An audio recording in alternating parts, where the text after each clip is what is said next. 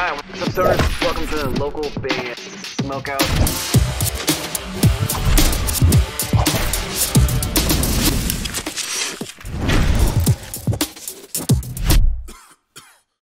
Ladies and gentlemen, Tommy and Jynx in the building! Hell yeah!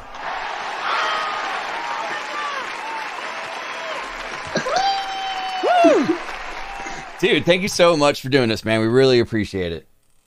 What's popping, y'all? How are you? How's your How's your day been? How's your day been? Been all right. Not too bad. Not too bad. Excellent. A Excellent. little hungover, but I'm feeling all right. Not too bad. Not too bad. Big big party last night. Yeah, a little. Not even a party, bro. I was just in the studio with my mans, and we just kept drinking and just recording shit and fucking yeah, it was a lot. But I feel I feel good though. What is your What is your beverage of choice when when partying is going down? Oof. Uh, tequila, tequila, Corona, Hell yeah, tequila silver, some Casamigos. it's a good yeah. combo. Uh, my co-host today is uh, is Michaela. Michaela, it's Tommy. Uh, dude, first to, up, to, to start off, uh, doing a little bit of research before before we did this today. I had no idea that you drummed for tons and tons and tons of bands before going to to Jynx and, and doing vocals. My question is, Yeah, yeah. at, at what point did you decide it's time for me to now be the front man? And can you can you tell us about that particular day when when that decision was made? Yeah, yeah, for sure. Um, I feel when I was drumming, I was kind of just doing a lot of hired gun stuff, just kind of pulling up, just playing. I wasn't really a part of any of these projects. I I was a part of some, but those were like more passion projects. Like anything that I was touring with was just like me to get exposure and just try to get myself out there. So I really, I really just, I, I kind of just like went with it for years, but I never really belonged to something, and I never really felt like I belonged to something too. And, and like you know I, I really wanted to write and be able to call something my own so like the last band i was in before jinx like when i left it, it, all just kind of came together like really clutch and like i finally felt like i was a part of something. So i, I think that was definitely the main reason for sure uh, I, I just wanted to i just wanted to call something mine you know what i mean i just wanted to be actually a part of something rather than just pull up and just play But then know? also the transition to instead of forming your a band that's yours and sticking to the drums, what was the decision to to now be the vocals vocalist and why not do drums while also doing vocals? Like, is can you elaborate more on that? Like be, becoming full time Uh, um, frontman. Yeah, yeah. I, I mean, I always kind of just played around with vocals, just in my basement, just kind of fucking around, uh, just practicing, just having fun with it. And I kind of just applied rhythm to vocals. That that's pretty much how I do. Like when I go about doing Jynx stuff, uh, I just really apply rhythm to vocals. And I, I've always been a fan of doing it. I've always been a fan of like being in the front. I was always doing guest vocals for like friends bands and shit like that um, just just kind of pulling up, and they're like, "Yo, you should be a vocalist in a band." Everyone was kind of telling me that. I was like, "Yo, you could, you got moves, you you could scream, you could do it, give it a shot." And uh, yeah, I was just like, you know what, maybe you're right. Let's try try a little something different, you know. But but I still drum, I still drum all the time. Uh, I still I still write a lot of drums. I still do a lot of stuff in the studio. So like, uh, at heart, at heart, I'm a drummer, 100. percent Okay, cool. But, uh, yeah, I- but, but but definitely I apply I apply the rhythm to the vocals heavily for sure. The uh the first time the actually the only time I've been able to see you guys live was when you played uh, the Glass House in, in Southern California with Attila. And don't Oh. Oh, don't yeah, tell that one. Attila, but I think you guys stole the show that night. Something that stood out to me was you jump into the pit, everyone's pitting around you, and you're just going ham. And that just you don't see that very often. I thought that was really impressive and, and really, really cool. Yeah, yeah. I, you know, I'm a, I'm a old, I'm an old mosh veteran. You know, I came up, I came up dancing like since I was little. So, you know, I had, I had to bring a little piece of that, you know, with me on tour. You know, because I'm like, yo, this crowd, I gotta get this crowd more like into it. So I'm just like, yo, I'm just gonna go down there. And like, and I'm using a wireless mic. I don't even, I didn't even care if it was delayed or anything. I'm just like, nah, I'm going the fuck down there and I'm getting them into it. Fuck that. I'm making sure everybody in that crowd is bouncing with me. So that that was definitely the vibe that that I go for. for we sure. re- But we yeah, I- I was received those that, like, vibes that that. night for I sure. that. Michaela, what, what question do you have for Tommy before we uh, dive into some of their tunes and do some trivia? So when you're playing live, like, what's your favorite song live right now? In in their set? Yeah, in the set. Um, I you know what? I, I'm gonna say it's this. Uh, it's an unreleased song because we were playing it on our last tour. We were on tour with uh, Veil of Maya and Born of Osiris and uh, Victims Hunt the Dinosaur. Shout out to them, all great Hell yeah. people. Um, there's this uh, new song that we have coming out soon. It's called Cuchi Frito, and it's uh, it's really heavy. It's really fast. Um, it's it's definitely like it's it's a real it's a real crowd pleaser for sure, and they don't even know the words yet. Like, and I feel like that's the thing that I love about our band. We play these unreleased songs, and we get the best reactions from the crowds Get out of them. Everybody juiced up. they and they don't even know the song. So definitely That's Cuchi what's Frito. I would say that, and uh, maybe fucking up, cause fucking up, like I get everybody bouncing with me for sure. There's a lot of crowd participation in that one. So yeah, either either our unreleased one, Cuchi Frito, or fucking up, which is already out. Yeah, either those two are my favorites. That's what I enjoy about your guys' catalog too. Like each song is different in its own right. Like you guys have the heavier ones, more hip hop influence, kind of like dancier and bouncy vibes sometimes, or you just get straight wilding out heavy. Like I, I love the diversity of the sound. It's awesome. Thank you, thank you. Yeah, there's a whole whole lot more of that coming through. So if you like if you like the diverse and just blending all that together, there's a whole Hell yeah. lot more of that coming. Like times ten thousand. Like Excellent. It's, it's gonna be crazy. That's what's up. Hell yeah. Being that there is a lot of hip hop involved in your guys' music, who who would you say is just like the top three best MCs ever? Ooh, top three best MCs. Shit. I'm gonna have to go with. I'm gonna have to go with Big L. I'm gonna have to go with Big L. You know, I'm, I'm, I'm gonna say Nas too. You know, cause fuck that 21 Savage shit. I'm gonna say Nas too. Cause Nas Nas my Nas my favorite rapper. Can't- Nas all day. can't disrespect Yep. the legend Nas like that. bro. Yeah. Nas- Exactly. Nas, you cannot touch Nas. Felt Nas, and then you know what? Shit, I'm gonna say Method Man, because Method Man is like probably my favorite rapper of all time. Yeah. Hell yeah. I yeah. respect that. Yeah, so I would say I would say Wu-Tang, top three yeah, those cats. But I, I I love a lot. I love a lot of the new blood that's out here. Like, there's a lot of cool shit coming out of New York right now. There's like Stunna Gambino, Busy Banks, Spliff Happy, Kay Flock. Like, I'm really into artists like that too. Who does who does your guys' uh, recordings when you go into studio for a new single? Are you Uh, do you DIY Zach everything or Jones, Uh, our producer Zach Jones. We uh, yeah, I'm actually I'm actually not too far from my producer right now. I'm in LA right now, but uh, yeah, our producer Zach Jones. Uh, we've been with him since I've joined the band. Um, the Jynx had a vocalist before me actually, uh, and they were with uh, Andrew Baylis uh, originally, and then uh, when I joined the band, we started working with Zach Jones. So been with the guy for about you know five years now. Haven't changed guys since. That that's our guy for that's sure. chemistry? You know it's good chemistry when it's like that. Hell yeah. Uh, Tommy, I do want to do some trivia. We'll, we'll play. I'm going to play one of my favorites, which is Fade, here in a bit, just so people that may not know your music. But uh, th- the trivia portion: What movie or TV show have you seen more than anything? Or if I ask you a trivia about this movie or TV show, you will not get stumped. Oof, shit, man. Um, I'll let you think about it for a second. I'll let you think about it for a second. Maybe, maybe Pulp, maybe Pulp Fiction, Okay, maybe Pulp Fiction, that'll work. or like any of the any of the Tobey Maguire Spider-Man movies. I know it's kind of corny, but like that, that's my childhood right there. Let's do Pulp Fiction. That'll be a fun one. Badass. All right, uh, your your Hell yeah. Pulp That- Fiction. That was definitely my heartbreak song for sure. Well, we love Yeah, it. Yeah, you could tell that one hits in the feels. Pulp Pulp Fiction trivia. I just shoot it in my mouth? Just shoot it. I just got a syringe Shoot. shot. He's doing shots. Yes. I'm not getting on camera, but we're doing shots. Nice. I'll do a shot with Hell you. Oh, yeah. I'll do a shot with you. Do a shot with us. Here we go. Cheers. I like the vibe. Keeping the syringe vibe going for a spooky season. I like it. Hell yeah. All right, Pulp Fiction trivia. Here we go. In the movie, the entire time, there's a briefcase going around. Yes, What was actually in the briefcase in Pulp Fiction? Marcellus' soul. We'd never actually find out, I don't think. It was a trick question. I know, I know, but the theory, the theory is that it's Marcellus' soul, and I'm convinced that's what it is. I, I believe you. We're going to give it to you. I, I, I, I would say it's Marcellus' soul. Okay. Uh, You see it glow a couple times when when uh, Sam Jackson opens it. It like glows out, and he's like, "Oh sh." So that means I did not stump you technically. So I will take a swig of hot sauce, and I have to do a shoey. Are you familiar with what a shoey is? No, what is that?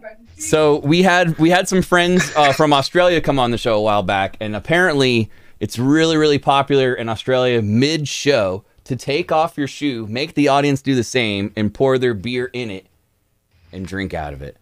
Now that's kind of gross. I've retired that portion of it, so I just have a sandal. Fortunately, I'm gonna do that right now. But uh, if you're Tommy, if, let's say let's say you're hanging out with someone and they have no idea what your band sounds like, and you can only play them one song. What's the one song you're putting the headphones on for them, and why that one? Heat Wave 98 because it's it's probably the most grimiest lyrically it's the most grimiest most real real shit for sure I, I think I think I think if I'm gonna show someone Jynx for the first time like I want to show them like the hardest shit you know I don't want I, I wouldn't I would maybe second I would show them the exact opposite the softest one fade I would go from Heatwave 98 to fade show them the heaviest and then show them the little softer side Yeah, I think the full variety in, in both songs, and that's sure. shows Wait, that was- versatility. Hell that yeah. was the same band. What? yeah, I love when that happens. I love that too. Heat Wave '98. All right, I gotta find a harder question than that. Let's see. All right, I'm gonna attempt this one more time. One more time, Pulp Fiction trivia. This one's still not that hard, but we might we might be able to get you. There's a famous scene where John Travolta dances, and they do the dancing competition with Mia. What is the name of the restaurant that they're at when they do the dancing competition? Oh fuck, man. Ah shit, the, the milkshake spot. Fuck. It's ten dollar milkshake. Five dollar milkshake. It's five five dollar milkshake. Oh, fi- it's, Girl. damn it, fail. Hey, Francesca, I failed that one. I failed that one. fail. Jack Rabbit Wait, what am I Slims. doing? Am I It's supposed to Jack Rabbit Slims. I told you. I Jack Rabbit? told you. Jack- Jack Rabbit. Jack Rabbit Slims is the answer. Do you happen to have any hot sauce? I have two hot sauces. I'm not pussy. Yeah, I got I got Dragon's Breath. All right, fire it up. Let's go. Alright. Let's knock it, dude. When you're uh Shit gets me when you're when you have the rare day off, two days off, not working about music, not worrying about money for maybe a side hustle or anything, I don't know. What is your just favorite pastime? Oh man, my favorite pastime. Li- Literally just the simple things, the simple things, man. Just just kind of like just chilling, listening to music, just like just being kind of like I, I guess you could say isolated, but I, I, I, I just I just really like just sitting down and just finding new shit. Like I'm really into finding new artists and finding new music. I just love music. I live and breathe that shit every day. So even if it's like, yeah, if I'm not doing music, I'm still like doing music somehow. You know what I mean? Uh, just- you said just you said last listening- night you were in your homie's studio. Do you do like production on the side? Uh, I don't. I don't do production. I like. I'm really bad at it, but I do write. I help a lot of artists and stuff like that. I I, I write for people and, and shit. So I do a lot of stuff like that, like lyrics and stuff.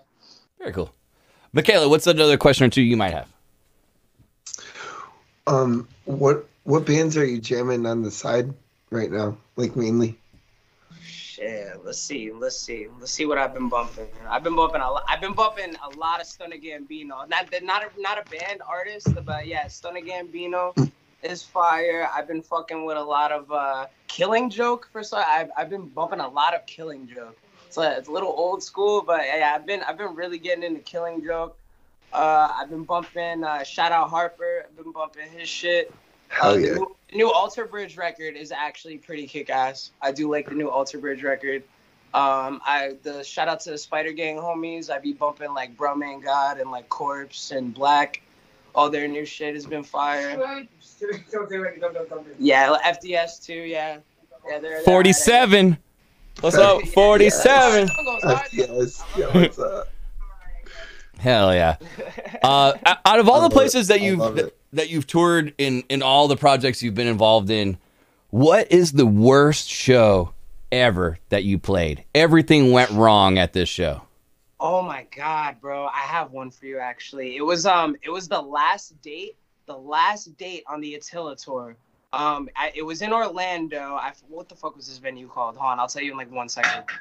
On the Attila tour, we played this venue, and it's it, it was the worst smelling, most disgusting. It's. Orlando. I used to live in Orlando. Maybe the Haven, the Haven Lounge. Um, it was uh shit. Where is it? Where is it? Um, yes, I, yeah, it was. It was. It was the Haven Lounge.